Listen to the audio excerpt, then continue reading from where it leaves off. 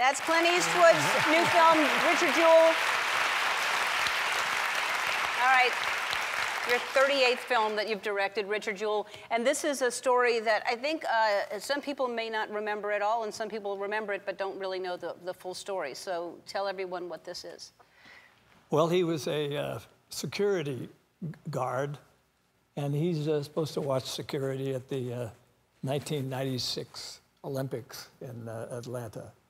And uh, he did a heroic deed. He discovered a bomb there, and, and uh, the bomb eventually went off, but it, and, uh, it, it, it, didn't do the damage it was supposed to because of things he did.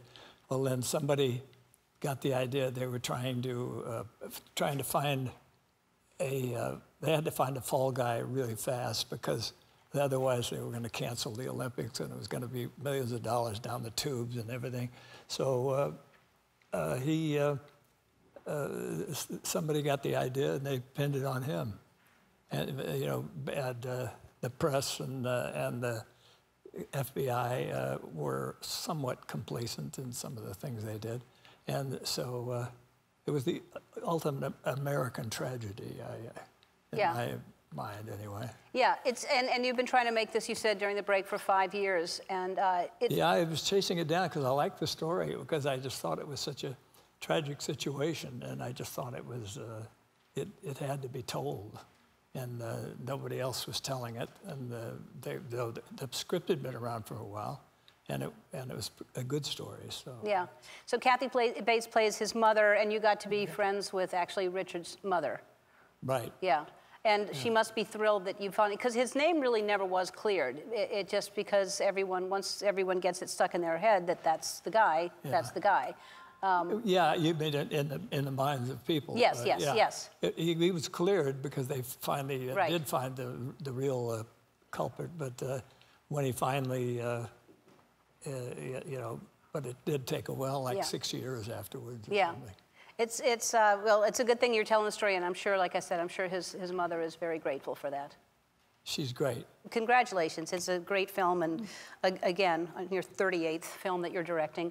Um, you're a good neighbor. You never complain. You never, you, and so we wanted to do something nice for you. It's the holidays, and we wanted to decorate your bungalow for you because maybe you're too busy. So, um, so this is what we've done to your bungalow.